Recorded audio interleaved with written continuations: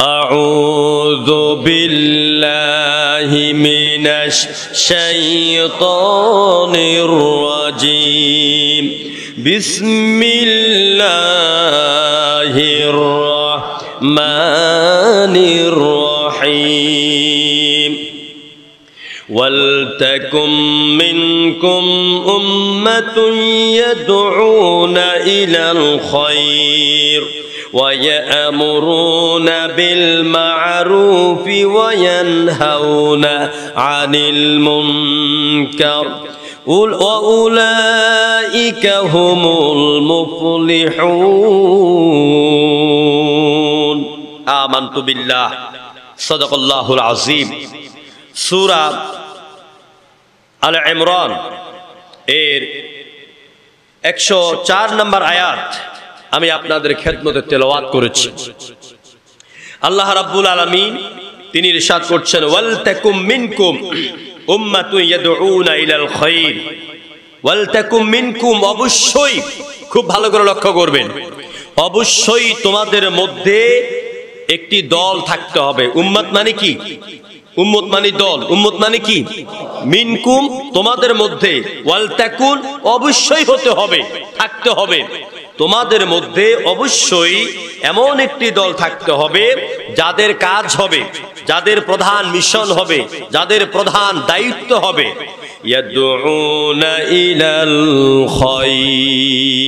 এরা ডাক দিবে, এরা নিমন্ত্রণ জানাবে, এরা আহ্বান করবে, এরা কল করবে। ইলাল খয়র খয়ের দিকে।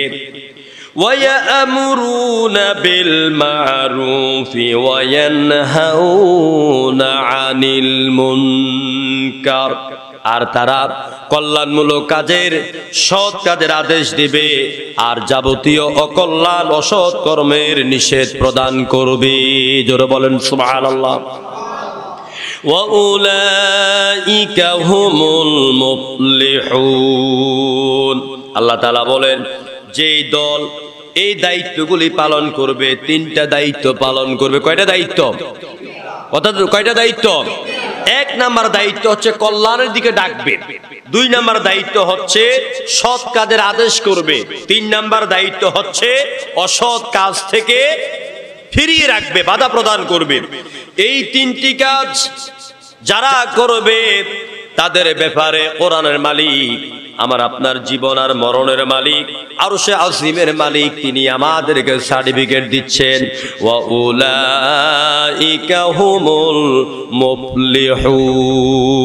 আমি আল্লাহ পাক তাদেরকে সফলতা দান করে দিব সুবাহান আল্লাহ এরা সফল কামি এরা আল্লাহর কাছে সফলতার পুরস্কার প্রাপ্ত হবে। চিল্লাই করে আল্লাহ আকবার।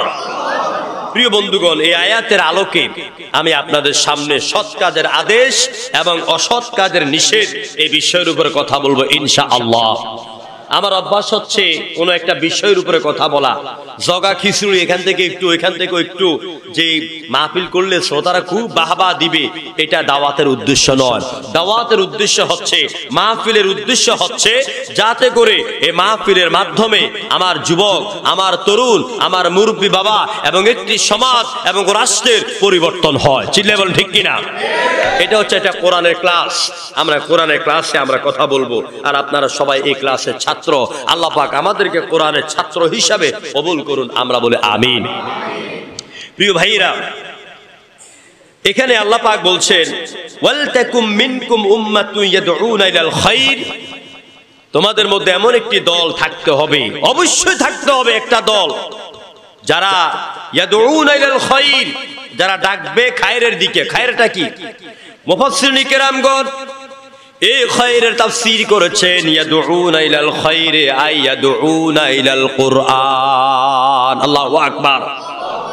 এই দলটা, এই যুব সমাজ, সমাজের লোকদেরকে ডাকবে কোরআনের দিকে, কারণ কোরআন হলো এই পৃথিবীর সবচাইতে শ্রেষ্ঠ হেদায়েতের কিতাব।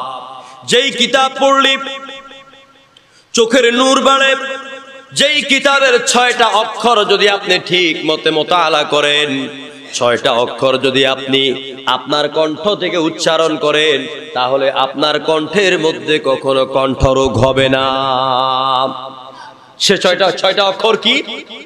সেই ছয়টা অক্ষর হচ্ছে হরফে হালকি ছয়টি। বলেন, হরফে হালকি।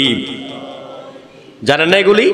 বলেন, হরফে হালকি ছয়টি, হামসা হা, আইন হা, গইন খ। এই ছয়টি হরফ যেই ব্যক্তি তার কণ্ঠ দিয়ে প্রতিদিন উচ্চারণ করবে, চিকিৎসা বিজ্ঞানীরা বলেছে, ইমাম গাজ্জালি তার কিতাবের ভিতরে লেখেন, ওই ব্যক্তির কণ্ঠ নালিতে কখনো কণ্ঠের রোগ হবে না। আল্লাহ আকবার। তাহলে হেদায়েতের কিতাব। এই চোখ দিয়া যত বেশি করে আপনি দেখে দেখে পড়বেন, আপনার চোখের নূর বেড়ে যাবে। মৌতের আগে এই চোখের দৃষ্টি আপনার কমে যাবে না। দুই নাম্বারে, এই অক্ষরগুলি উচ্চারণ করলে আপনার কণ্ঠনালীতে অসুখ হবে না। আবার এই কোরআনকে যদি আপনি পড়েন আর বুঝে জীবন চালান, তাহলে শয়তান আপনার পেছনে রাত দিন পরিশ্রম করেও আপনাকে শয়তানের দলে নিয়ে জাহান্নামে বানাইতে পারবে পারবে? আপনারা কি আমার কথা দিকে টেনশন আছেন? তাহলে কথার জবাব দিতে হবে। আমি তো সিরুটি মারতাম না পারি, নাকি? আপনাদের কথা কিন্তু বুঝি, সম্মান করি। কারণ প্রত্যেক নবীরাই আঞ্চলিক ভাষায় কথা বলেছেন এবং আঞ্চলিক ভাষা দিয়ে আল্লাহ পাক নবীদেরকে স্বজাতিকে সাবধান করা তাগিদ দিয়েছেন। এজন্য আঞ্চলিক ভাষার আলাদা একটা মর্যাদা আছে। আমার ভাইরা আল্লাহ রাব্বুল আলামিন বলেন এই দলের এক নাম্বার দায়িত্ব যে কোরআনের দিকে ডাকা। আজকের মাহফিলের মাধ্যমে আমরা আপনাদেরকে কোরআনের দিকে ডাকতেছি, কারণ আমাকে, আমার দাওয়াত হলো, আপনি কোরআনের উপর ইমান আনুন। দুই নাম্বারে আপনি কোরআন শিখুন, তিন নাম্বারে কোরআন নিয়মিত তেলাওয়াত করুন, চার নাম্বারে কোরআনকে শুদ্ধভাবে পড়ার চেষ্টা করুন, পাঁচ নাম্বারে আপনি কোরআনের অর্থ সহ পড়ুন, ছয় নাম্বারে কোরআনের বাস্তব কথাগুলিকে নিজের জীবনে আগে আপনি বাস্তবে রূপ দেন, তারপরে কোরআনের কথাগুলিকে সমাজে বাস্তবে রূপ দেওয়ার জন্য অবশ্যই আপনাকে একটা সংঘবদ্ধ দলের সাথে জড়িত হতে হবে। ঠিক কিনা বলেন? জামাতবদ্ধ জীবন ছাড়া এককভাবে একটা সমাজকে পরিবর্তন করা যায় না। এই জন্য জামাতবদ্ধ জীবন হতে হবে, ঐক্যবদ্ধ হতে হবে। আপনি কোরআনের কাছে কেন আসবেন? আর কোরআনের দিকে কেন ডাক দিবেন? আল্লাহ রাব্বুল আলামিন বলেন, ফামান তাবিআ হুদায়া ফালা খাউফুন আলাইহিম ওয়ালা হুম ইয়াহজানুন। আল্লাহ পাক বলেন যেই ব্যক্তি আমার হুদা তথা আমার কোরআনের ইত্তেবা করবে, আমার কোরআনের অনুসরণ করবে, এই কোরআন মানার কারণে দুনিয়ার মধ্যে তার জন্য কোনো ভয় নাই, আর পরকালীন জীবনে ওর কলেজার ভিতর জাহান নামের আগুনের কোনো চিন্তাও থাকবে না। সুবহানাল্লাহ! আমার ভাইরা সেই জন্য এই কোরআনের দিকে আপনাকে ডাকতে হবে। কোরআন ভিত্তিক সমাজ ব্যবস্থা কায়েমের জন্য আপনাকে সিদ্ধান্ত নিতে হবে। আজকের এই বর্তমান প্রেক্ষাপটটি কোরআনে কারিম, এটা আজকে অবহেলিত। এই কোরআন সবচাইতে নির্যাতিত। এই কোরআন আজকে আমাদের কাছে সবচাইতে অসম্মানের বিষয় হয়ে গেল। আজকে আমাদের মুসলমানদের মধ্যে অনেকে কোরআনের বিরুদ্ধে কথা বলে, আজকে অনেকে কোরআনের আলোচনার বিরুদ্ধে কথা বলে। আবার বি জাতিরা যদি আল্লাহর কোরআনকে অপমান করে, এক শ্রেণি মুসলমানের কোনো মাথা ঘামায় না। ঠিক কিনা বলেন? এই জন্য আমার কোরআনের, আমার কোরআন কি এই সমাজে বাস্তবায়ন করার জন্য বর্তমান প্রেক্ষাপটে আমার নবীর হাতে তৈরি করা হজরতে ওমরের একজন উত্তর শরীর দরকার। ঠিক কিনা বলেন? হজরতে ওমরের একজন উত্তর শরী হতে হবে, যার মাধ্যমে এই দেশে, এই সমাজে কোরআনের রাজ, কোরআনের বিপ্লব কায়েম হয়ে যাবে ইনশাআল্লাহ। কোরআনে কারিমি আল্লাহ পাক বললেন, আমার নবীর পরে আর কোন নবী আসবে না। আসবে, নবীর পরে নবী আসবে? নবীর পরে নবী আসবে না। কিন্তু আল্লাহ নবী কোনো জায়গায় এই কথা বলে যায় নাই। আমার ওমরের পরে আর কোন ওমর আসবে না। কথা বলেছে নবী। কথা বলেন নাই। তার মানে ওমর আসবে। ওমর উত্তর সরিয়ে আসবে। যাদের মাধ্যমে সমাজ থেকে অসৎ কাজগুলি দূর হয়ে যাবে, অন্যায় কাজগুলি দূর হয়ে যাবে, ন্যায় প্রতিষ্ঠা হবে এই জন্য হজরত ওমরের প্রয়োজন। কথা ঠিক কিনা বলেন? প্রভু, তুমি বলেছ রাসূল দেবে না প্রভু, তুমি বলেছ রাসূল দেবে না। বলনি দেবে না ওমর, বলনি দেবে না হামজা তারিক, খালিদ বিজয়ী সমর। প্রভু, তুমি বলেছ রাসূল দেবে না। বলনি দিবে না ওমরের যুগ, রাশেদার সেই খেলাপাত ফিরিয়ে দেবে না আলোর সমাজ, কেটে কেটে পৃথিবীতে আর তুমি কভু দেবে না। পৃথিবীতে আর তুমি কভু দেবে না। ফুলের সোনালি ভোর বলনি দেবে না হামসা তারিখ, খালিদ বিজয় সমর। প্রভু তুমি বলেছ রাসুল দেবে না। আল্লাহু আকবার। আমার ভাইরা, তাহলে আমাদেরকে কোরআনের দিকে ডাকার জন্য আমাদেরকে হজরতে ওমরের উত্তরসূরি হতে হবে। হজরতে ওমরের ভূমিকা আমাদেরকে বর্তমানে পালন করার সিদ্ধান্ত আজকের মাহফিল থেকে নিতে হবে। চিল্লা এখন ঠিক কিনা? প্রিয় ভাইরা, এরপরে আল্লাহ পাক এই আয়াতের ভিতরে দ্বিতীয় যে দায়িত্ব দিয়েছেন সেটা হচ্ছে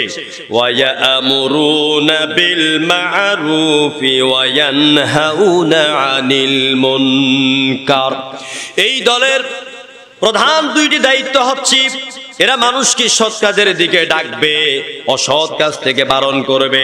আল্লাহ রাব্বুল আলামিন সৎ কাজের আদেশ, অসৎ কাজের নিষেধ, এটার এত গুরুত্ব দিয়েছেন কোরআনে কারিমের ভিতরে। প্রায় আয়াতের ভিতরে আল্লাহ পাক এই বক্তব্যটি এনেছেন। দেখুন, কোরআনে কারিমের সুর আর ইমরানের একশো দশ নম্বর আয়াতে একই কথা আল্লাহ পাক বলছেন এইভাবে কুতুম খৈর উম্মাতিন উখরিজাত লিন্নাসি তা'মুরুনা বিল মা'রুফি ওয়া তানহাউনা আনিল মুনকার ওয়া তু'মিনুনা বিল্লাহ। চিল্লায়ে কর আল্লাহু আকবার। আল্লাহ পাক বলছেন, খুব ঠান্ডা মাথায় বুঝেন। কুনতুম খাইরা উম্মাহ। আল্লাহ বলছেন, তোমরাই হচ্ছ শ্রেষ্ঠ জাতি, কারা? শ্রেষ্ঠ জাতি কারা? আমরা। জোরে বলো না কারা? আল্লাহ বলছেন, তোমরাই শ্রেষ্ঠ জাতি। তার মানে আমরাই হলাম শ্রেষ্ঠ জাতি। তোমাদেরকে করা হয়েছে। তোমাদেরকে বের করা হয়েছে মানুষদের মধ্য থেকে। সারা বাংলাদেশে প্রায় আঠারো কোটি মানুষ আছে। যতক্ষণ ঠিক কিনা?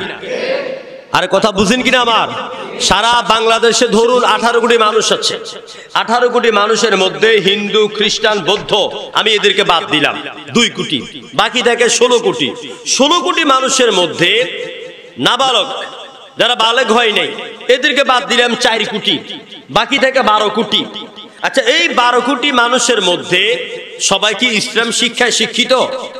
সবাইকে কোরআন হাদিস পড়েছে? পড়ে নাই। আচ্ছা তাদের মধ্য থেকে অর্ধেক ছয় কোটি বাদ দিয়ে দিলাম। আর থাকে ছয় কোটি মানুষ। এবারে আপনারা বলেন তো, এই ছয় কোটি মাদ্রাসায় পড়েছে, আলেম হয়েছে, মুহাদ্দেস হয়েছে মুক্তি হয়েছে সমাজের নেতা হয়েছে, এমপি হয়েছে, মন্ত্রী হয়েছে, হজ করে জাকাত দেয়, সব করে। কিন্তু এই ছয় কোটি মানুষ কি? মানুষকে, অন্যদেরকে সৎ কাজের আদেশ, অসৎ কাজ থেকে বারণ করার দায়িত্ব কি তারা কাঁধে নিয়েছে? বলে নিয়েছে? নেই নাই। সৎ কাজের আদেশ এবং অসৎ কাজের গুরুত্ব এতটাই যে আল্লাহ বলেছেন, আকিমুস সলা নামাজ কায়েম করো। ঠিক ওই আল্লাহ বলেছেন বিল মারুফ তোমরা সৎ কাজের আদেশ করো। আর আল্লাহ যখন কোনো কাজ করতে বলেন, তখন সেটাকে নফল থাকে, মুস্তাহাব থাকে, না ফরজ হয়ে যায়? সেটা কি হয়ে যায়? সেটা ফরজ হয়ে যায়। আল্লাহ বলছেন, উখরিজাত লিন্নাসি তা'মুরুনা বিল মারুফি ওয়া তানহাউনা আনিল মুনকার। তোমরা একটা সুন্দর সমাজ গঠনের জন্য সৎ কাজের আদেশ দাও, আর অসৎ কাজে তোমরা বাধা প্রদান করো। আর সৎ কাজের আদেশ দেওয়ার জন্য, অসৎ কাজে বাধা দেওয়ার জন্য আপনাকে এক নাম্বার ইমানদার হতে হবে। কি হতে হবে? আল্লাহ বলছেন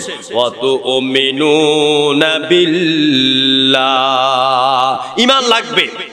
ইমান ছাড়া সৎ কাজের আদেশ আর অসৎ কাজের নিষেধের কোনো অর্থ নাই। জিরু শূন্যের যেমন দাম নাই, ইমান ছাড়া যত ভালো কাজ করেন, যত মন্দ কাজ থেকে আপনি বারণ করেন, আপনার এই সৎ কাজ আর অসৎ কাজে বাধা দেওয়ার কোনো মূল্য আমার আল্লাহর কাছে নাই। কারণ ইহুদিরা ইহুদিরা এই কাজটা করত। ইহুদিরা এই কাজটা করত, যার কারণে আল্লাহ পাক বলছেন যে, তোমাদের তো ইমান নাই, তোমাদের এই কাজের কোনো দামও নাই। এই জন্য ইমান লাগবে, যত ভালো কাজ করেন। এই যে আমরা সবাই ইমান এনেছি, আমরা সবাই কি? ইমানদার বলেন, আমরা সবাই কি? ইমানদার তো ইমান আনার জন্য আমাদেরকে কি পড়া লাগে? কালিমা। কি পড়া লাগে? কালিমা পড়া লাগে। লা ইলাহা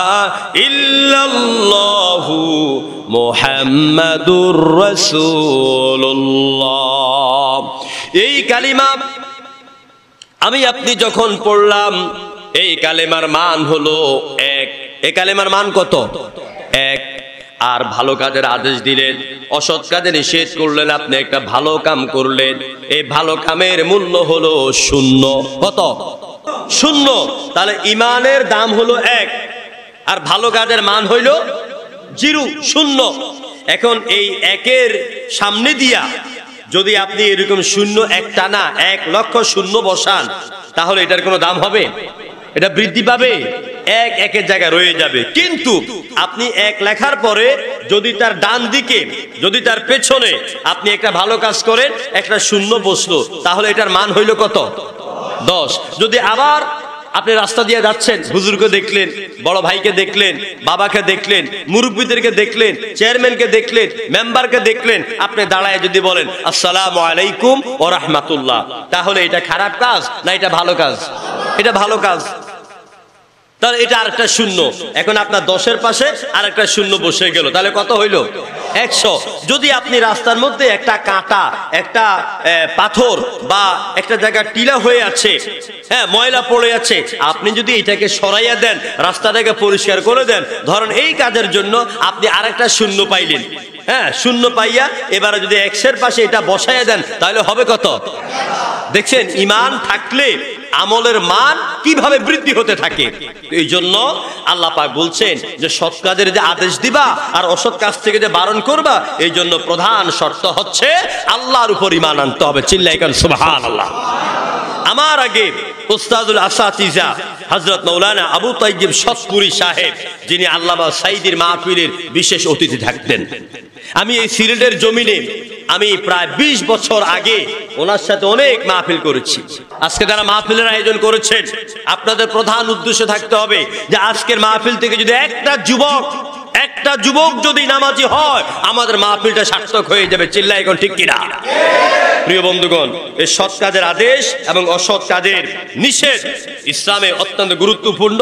আমি এটাই আপনাদেরকে বোঝাচ্ছি। আমরা নামাজের গুরুত্বটা যেভাবে দেই, রমজানের গুরুত্বটা যেভাবে দেই, আমরা মিলাদ মাহফিলের গুরুত্বটা যেভাবে দেই, আমরা কিন্তু সমাজের সৎ কাজের, ভালো কাজের, ন্যায় কাজের আদেশ আমরা ওইভাবে দিতে পারি না। এবং অন্যায় কাজ থেকে আমরা সবাই বাধা দিতেও পারি না।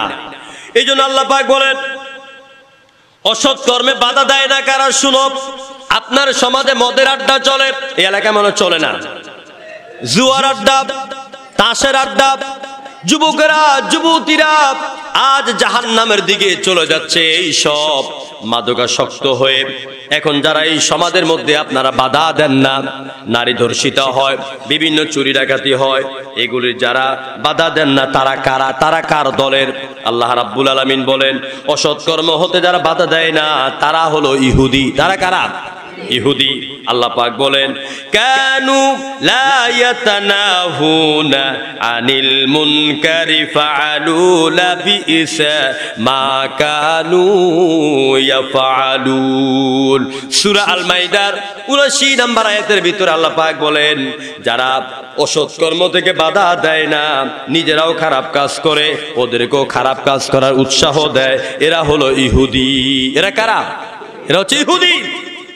আজকে এই আয়াতের মিলটা পাবেন আমার দেশের এক শ্রেণির রাজনৈতিক নেতাদের কাছে। যারা নিজেরাও মত পান করে, যারা অন্য মেয়েকে নিয়ে রাত কাটাবার জন্য মেয়েকে টেলিফোনে ধমক মারে। চিল্লাই ঠিক কিনা?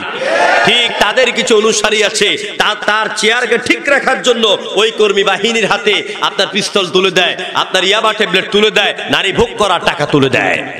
সুতরাং যারা নিজে অন্যায় করে এবং অন্যকে অন্যায় কাজে বাধা দেয় না, এরা কোন দলের? ইহুদি দলের, বলেন কোন দলের?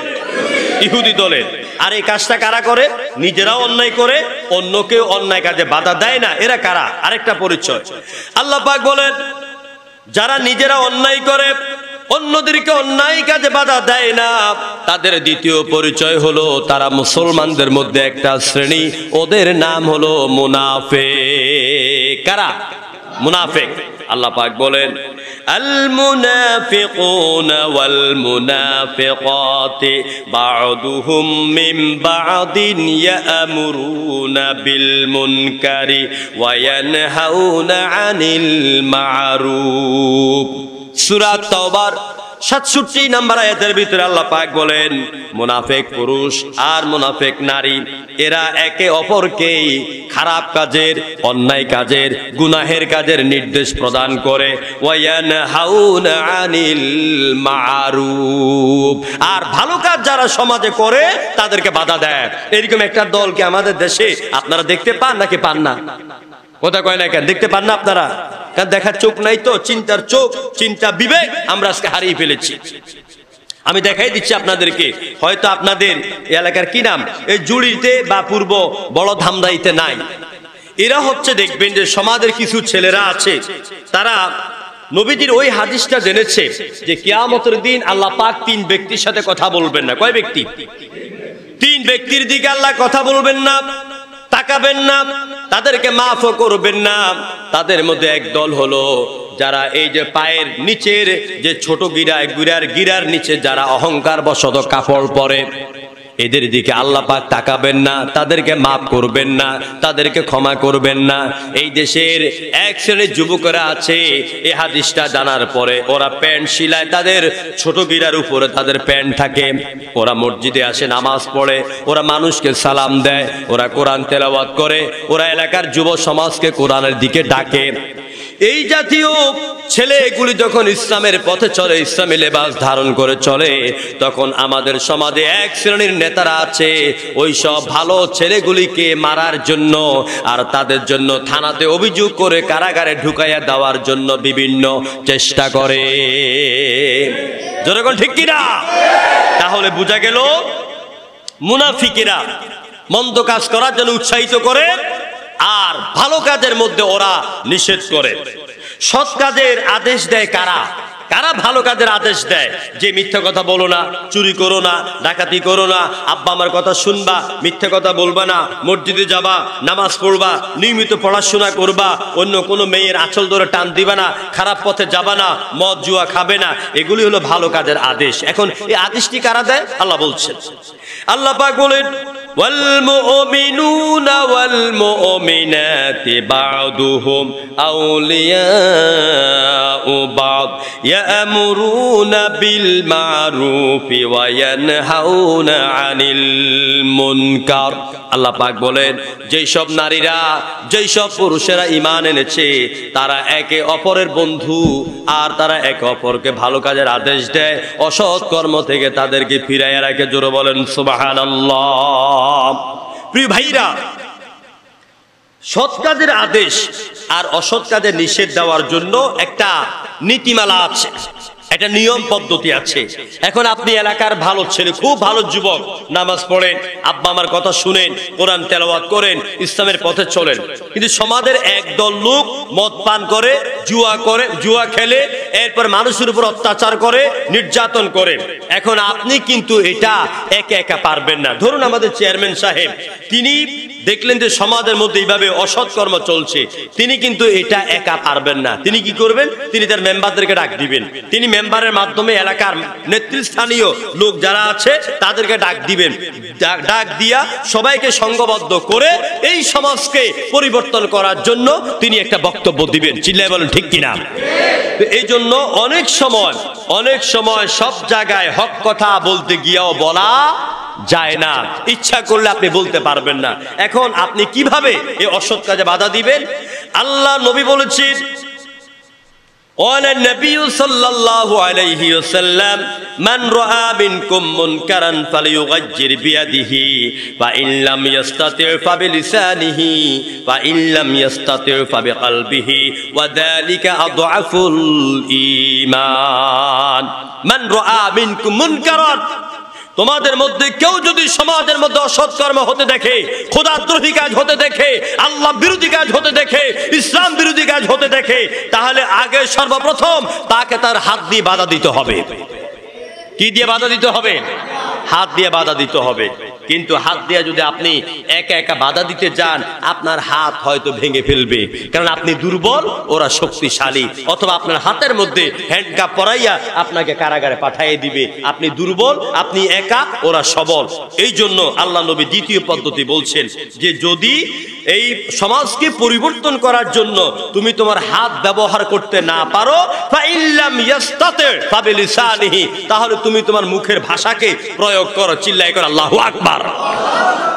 আল্লাহ জবান দিয়েছেন, আল্লাহ মুখ দিয়েছেন। এই মুখ দিয়া, এই জিব্বা দিয়া আপনি মিষ্টি মিষ্টি কথা বলেন। ভাই এসো না মসজিদে আদান হচ্ছে, আমরা মসজিদে যাব, আমরা নামাজ পড়ব। ভাই, উমুকরে গালি গালাস করতেছ, এই গালি গালাসটা তুমি করো না। এরপর আপনি দেখলেন যে কিছু যুবকেরা বা কিছু মানুষ চায়ের দোকানে বৈশাখ চায়ের কাপটা, এই যে চায়ের কাপ, এটা হালাল না হারাম? আরে ভাই, কথা বলে, এটা হালাল না হারাম? এটা হালাল। চাটা কি? হালাল। তো এই চাটাকে নেয়? বাম হাতে। চাকে কি নেয়? বাম হাতে নেয়। আর এরকম একটা সিগারেট বানাইয়া এটা নেয় আপনার ডান হাতে। ঠিক কিনা বলেন? ডান হাতে। তাহলে এটা হলো হারাম, আর এটা হলো হালাল। আপনি হালালকে নিলেন বাম হাতে, আর হারামকে নিলেন ডান হাতে। এই হারামরেও টান মারে, আবার হালালকে টান মারে, আবার হারামকেও টান মারে। টান মাইরা সা হালাল আর হারামরে মিস কইরা উফরুর দিকে একটা দোয়া ছড়ে, নাকের ছিদ্র দিয়া উফরুর দিকে তাকায় দেখে আমার ধোঁয়াটা মঙ্গল গ্রহে গেছে কিনা। প্রিয় বন্ধুগণ, তাহলে আপনি না ইসলামে দাবি করেন, আপনি না নিজেকে মুসলমান বলে দাবি করেন, আপনি না নিজেকে ইমানদার বলে দাবি করেন, এখন আপনি কি করবেন? এখন আপনার দায়িত্ব হচ্ছে, আপনি ওই দোকানদারকে যাইয়া বা ওই ব্যক্তিকে যাইয়া লাঠি লইয়া পিটাইয়া এই খারাপ কাজ থেকে তাকে বারণ করবেন না। আল্লাহর নবী বলছেন বা তুমি যদি হাত দিয়া বাধা দিতে না পারো, তুমি তোমার নরম জিব্বাটাকে প্রয়োগ করো। কারণ এই জিব্বা দিয়া নরম কথা, মিষ্টি কথা বলাটাও হলো একটা ইবাদত। কোরআনে কারিমের সূরাল বাকারার 83 নম্বর আয়াতের শেষ প্রান্তে আল্লাহ পাক বলে দিলেন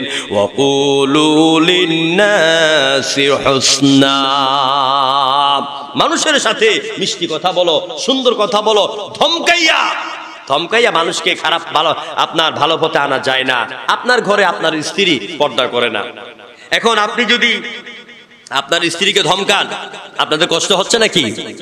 তো আপনার স্ত্রীকে আপনি ধমকাইয়া বোরগা গায়ে দিয়াতে পারবেন না। আপনার স্ত্রীকে ধমকাইয়া পর্দানিসেন করাইতে পারবেন না। আপনার মেয়ে একটু বিপদগামী হয়ে গেছে। মেয়েটাকে ধমকাইয়া আপনি বিপদগামী বা ভালো পথে আপনি আনতে পারবেন না। আপনার ছেলে আপনার ছেলে আপনার কাছে চেয়েছে যে, আব্বু, আমাকে তুমি সাইকেলটা কিনে দাও বা আব্বু, তুমি আমাকে ওই জামাটা কিনে দাও। আপনি আপনার ছেলেকে কি করলেন? এই একটা ধমক দিয়ে আপনি ওরে ভাগাইয়া দিলেন। এখন আপনার ছেলে কি হলো? আপনি বাবার প্রতি তার মনটা খারাপ হয়ে গেল, ব্যতিষ্ঠা এসে গেল। এখন বন্ধু কি করবে? ওই ছেলেটা কি করবে? যে বাবার কাছে আমি ভালো ব্যবহার পেলাম না, বাবা আমার অমুক জিনিসটা কিনে দিল না, বাবা আমার আশাটা পূর্ণ করল না। এখন এই ছেলেটা বাহিরে গিয়া ওই সব বন্ধুদেরকে খুঁজবে, যেই সব বন্ধুরা ইয়াবা খায় যেসব বন্ধুরা গাঁজা খায় যেসব বন্ধুরা আফিম খায় যেসব বন্ধুরা রাতের দুইটা বাজে ঘরের মধ্যে ফিরে না, তাদের কাছে যাইয়া বাবার কাছে যে আদর আদর স্নেহ পাওয়ার কথা ছিল, ওইটা না পাইয়া ওদের কাছে গিয়া বিপদগামী হয়ে তাদের কাছে ওই রকম আদর যত্নগুলি পাওয়ার পরে দিনের পর দিন মদের বোতল আর গাঁজার আসরে বসার জন্য দায় কি ছেলে না বাবা? বাবা। এই জন্য আল্লাহ বলছেন ওকুলুলিন্নাসে হুসনা। তুমি মিষ্টি ভাষায় কথা বলো, ধমকাইয়া ছেলেকে দিনের পথে আনতে পারবা না। ধমকাইয়া সন্তানকে, মেয়েকে দিনের পথে আনতে পারবা না। ওদেরকে ভালোবাসা দিয়া, মিষ্টি কথা দিয়া ইসলামের পথে আনতে হবে, নামাজি বানাইতে হবে। জোরগন সুবাহার আল্লাহ তাহলে মুখে যখন, হাতে যখন পারব না, তখন আমরা মুখ দিয়া মিষ্টি কথা দিয়ে আমরা অকল্যাণ কাজে বাধা দিব। আল্লাহ নবী এবার বলছি